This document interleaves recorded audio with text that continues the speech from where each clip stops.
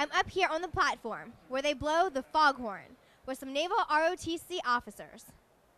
Uh, one of the Vandy alumni uh, donated uh, foghorn here. He was actually a uh, midshipman here a few years ago.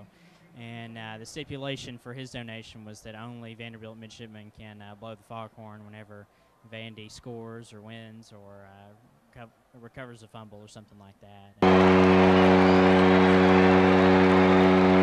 Awesome because it shakes the whole top level here.